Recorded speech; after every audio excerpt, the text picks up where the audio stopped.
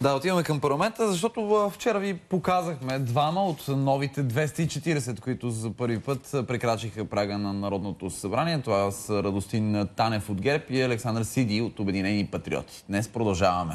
Първия работен ден на новобранците ще видим от БСП, най-младия депутат в 44-тото Народно събрание, Теодора Халачева, от Воля, бизнес дамата Нина Миткова, от ДПС, генерал Симеон Симеонов. Гледайте! Две красиви жени и един биш военен. Тя е бизнес дама и ръководи стотици служители в своята фирма. Заедно с вас правя първите крачки в парламента.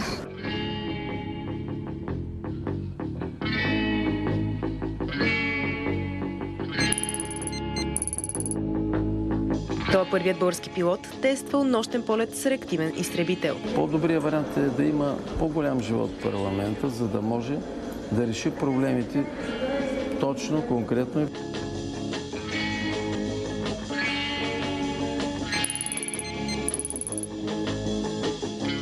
Тя предизвика фурор с това, че е биш модел и е най-младият народен представител в 44-тото Народно събрание. Атмосферата е изключително вълнуваща, вдъхваща респект.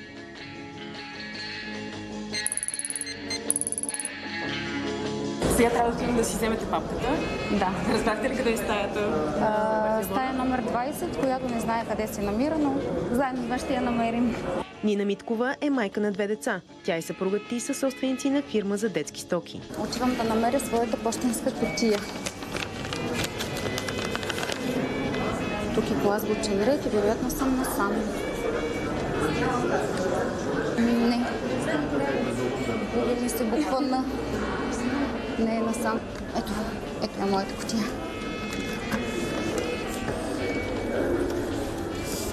Имам почта. Защо една ангажирана бизнес дама би влязла в политиката? Аз съм а, натура, която съм съпри- съпричастна, състрадателна. Това да си политик не, не трябва да бъде професия самоцел.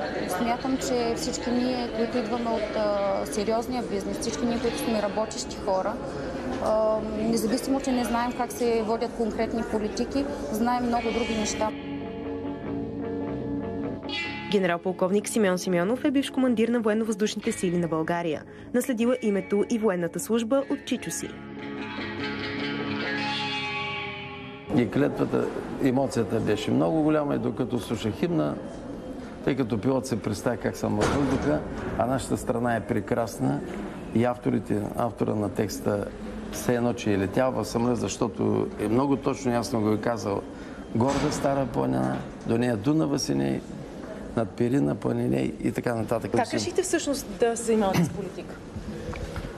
Ами след като се пенсионирах, на два месеца минаха и получих покана. И реших да отговоря на тази покана, защото аз съм вече гражданин на Република България. Не съм с генералски пагони. Теодора Халачева вече втори мандат е председател на Младежкото обединение на БСП в Пловдив и е най-младият общински съветник в града.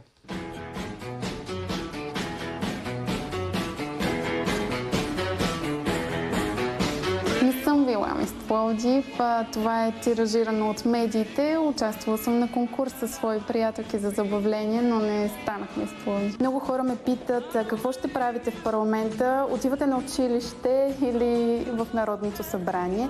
Но аз мятам, че няма по-добър защитник на интересите на младите хора от един човек на тяхната възраст. Имаш ли някой от лидерите на БСП, на който да симпатизираш? О, да, Корнелия Нинова е една страхотна жена, която върна живота в БСП.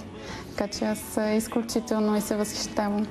Теодора беше посрещната като звезда на входа на Народното събрание. За първи път ще стъпите прага му. Има ли вълнение? Разбира се, вълнението е огромно. Всяко нещо ново и различно предизвиква вълнение. Емоциите са положителни. Виждате ли се някога като лидер на БСП? Имате? О, не, не, това са много смели планове. Колеги, здравейте! Как е настроението тази сутрин? Аз ли съм най-развълнувания човек или... Нина е една от дамите, с помощта на които Весели Марешки спечели места в 44-я парламент. За нея красотата е предимство. Всички ние се стремим към красота, нали така? Така че няма нищо лошо един човек да бъде красив. Нещо конкретно, което вие бихте искали да направите? Аз лично искам да се насоча към бъдещето на България и това са децата.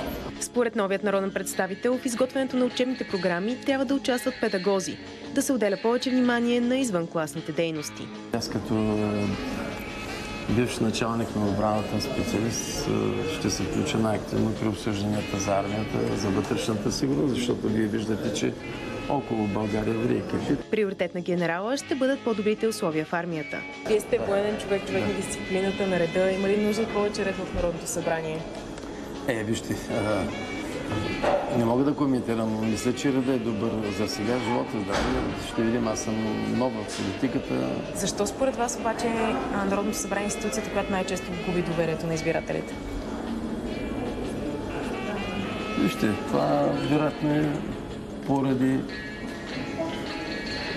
а, поради това, че някои хора създават изкуствено напрежение и създават изкуствени проблеми.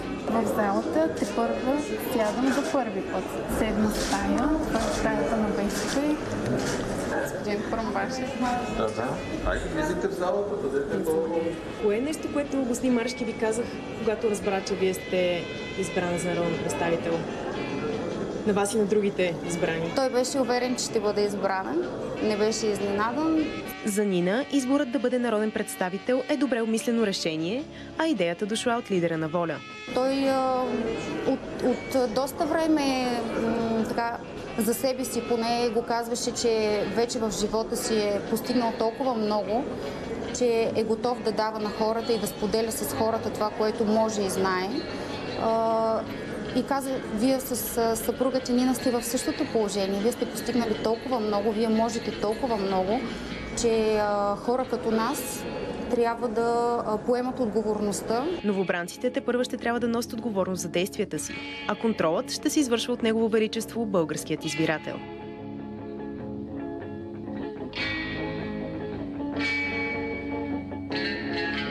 За събуди се Василена Гръбчева.